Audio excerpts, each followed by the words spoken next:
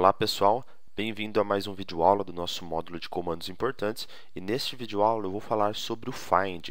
Este comando find ele é extremamente importante, é, principalmente em arquivos de auditoria. É muito comum você ver o find é, realizando algumas atividades nesses scripts. Por que isso? Porque o find ele é o, um comando que procura arquivos no seu sistema operacional. Então ele consegue procurar um arquivo com um determinado padrão de nome. Ele consegue procurar arquivos com uma determinada extensão, com uma determinada permissão.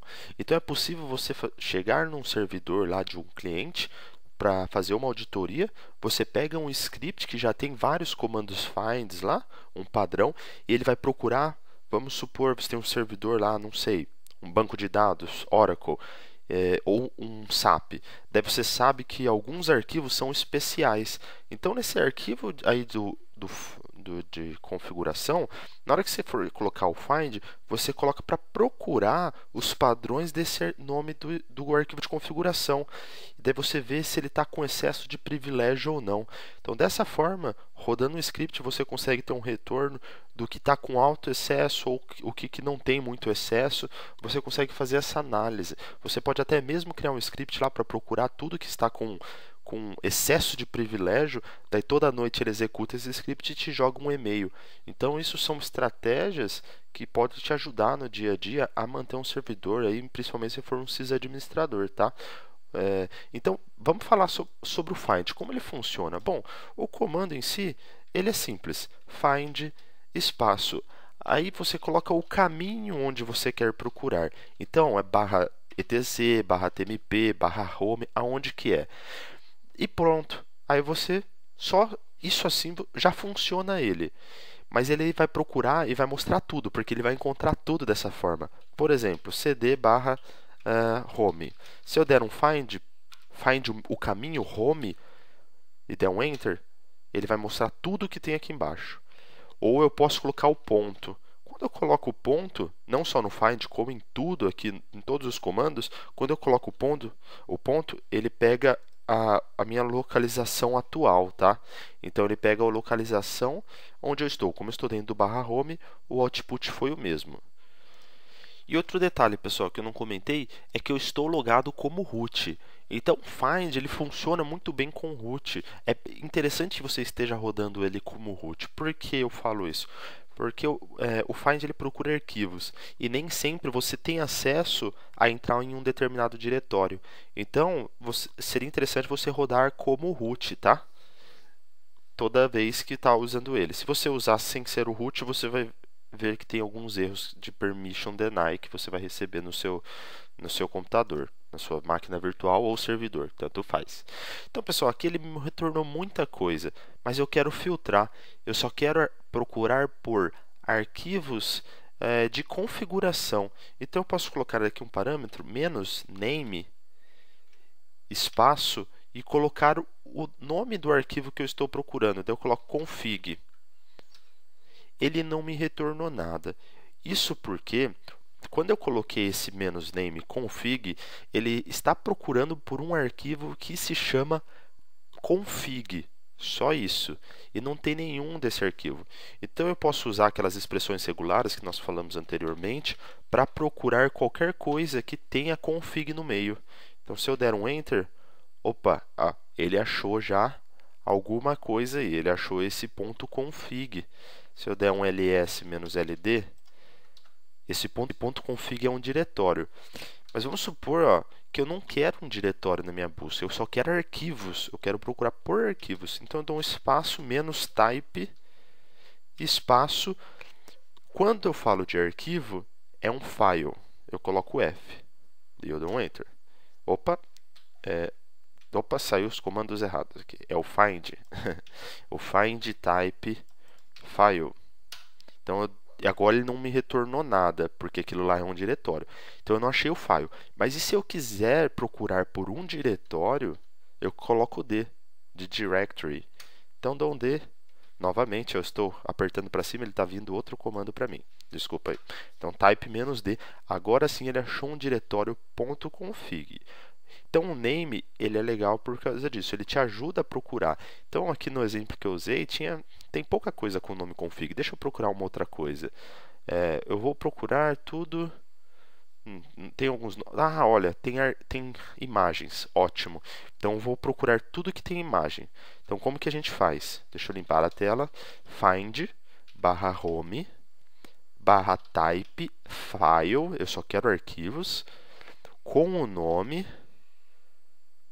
tudo que finaliza com ponto .png.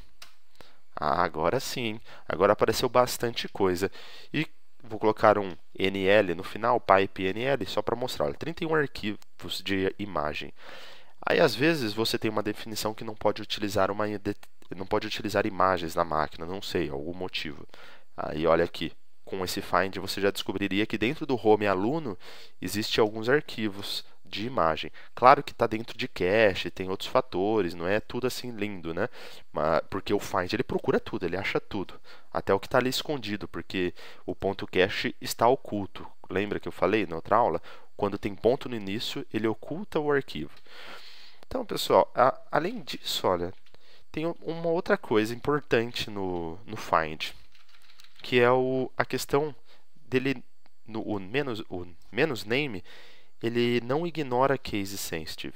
Então, se eu estiver procurando PNG, ele não vai encontrar. E como que eu ignoro o PNG maiúsculo? E como eu ignoro é, o case sensitive? Simples, é só colocar um i. Então fica traço, ao invés de traço name, fica traço e name, que é ignorar case sensitive. Quando eu dou enter, tá vendo? Ó, mesmo estando em maiúsculo, ele faz a conversão. E só completando aqui, ele reconhece o, a expressão regular, que é o asterisco, e ele reconhece muitas outras expressões regulares. Então, vamos supor, se eu não tenho certeza ali se é um PNG, se é PNG ou PNJ, eu não sei. Então eu abro aquela lista e coloco G e J. Então essa ele vai um dos dois vai casar aí. Então vai ser ou PNJ ou PNG. Se eu der o enter, olha, encontrou os PNGs. Então dá para usar tudo aquilo que a gente aprendeu, inclusive o, o mais ao invés do asterisco. Então, pessoal, dá para usar tudo mesmo. Então, deixa eu voltar aqui. É, o que mais nós podemos é, fazer com o find?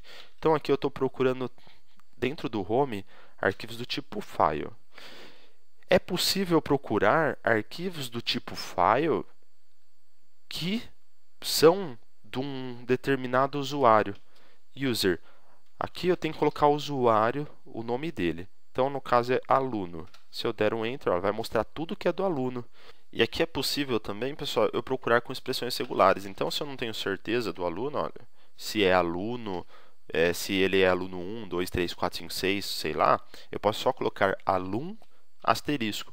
Aí ele vai encontrar todos os usuários os arquivos de dono de usuário alum, que começa com alum, tá?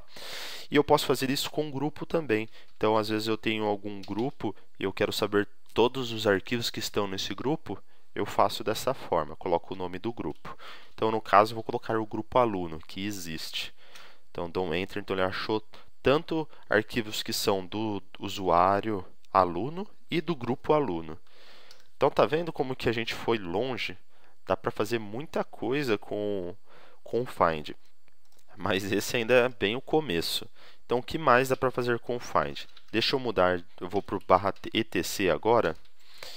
E vamos, e vamos procurar por arquivos que tenham excesso de privilégio. Ou melhor, vou para o barra cd barra, vamos procurar arquivos que estão com a permissão 777. Como que eu faço isso? Simples. Então, vou colocar find barra menos type. Ah, vou procurar diretório ou arquivo, tanto faz, não vou colocar o menos type. Então coloco menos perm de permissão 777. Então ele vai me mostrar tudo que está como 777. Olha o tanto de arquivo que ele tem como 777. Então tem bastante coisa. Se eu der um Ctrl C e selecionar o arquivo, ó, vou dar um ls-l para vocês verem ele apareceu 777 porque ele é um arquivo simbólico. Então, todos os arquivos simbólicos, eles têm a permissão 777, tá? Isso é esperado. Então, teria que fazer uma... teria que ignorar esses casos, caso você esteja criando o script. Mas aqui é uma biblioteca. Deixa eu ver se a biblioteca ainda é um link simbólico. Ela é um link simbólico também. Então, deixa eu pegar um outro arquivo. Eu vou criar no barra, no barra tmp, ó, fica mais fácil. Vou fazer um maior arquivo.txt. Vou dar uma permissão 777 para esse arquivo. E agora eu vou rodar o find no barra tmp. Aí, olha, ele encontrou o arquivo nosso, que ele está com uma permissão 777. Se eu colocar 770, que é a permissão de é, quase tudo para o usuário e para o grupo e nada para os outros, ele já não vai encontrar, porque o arquivo está como 777, tá bom? E em caso de permissões especiais, que são aquelas stick bit, do, também tem do grupo, então tem várias outras permissões, você pode colocar aqui, tá? Então vamos supor, eu quero todos que estão com stick bit, né? 1777. Se eu der o enter, ele achou alguns arquivos aqui no barra tmp que está com essa permissão, que são estes arquivos aqui. Tá? Então, o, o, o perm, este perm em especial, é aquilo que eu tinha falado anteriormente, de arquivos de auditoria. Então, tem auditorias aí que executa isso numa máquina, em alguns determinados file systems, para encontrar é, o que tem acesso de privilégio. Tá? E agora, também temos outros parâmetros que são bastante importantes do find, como por exemplo o mtime, o ctime e o atime.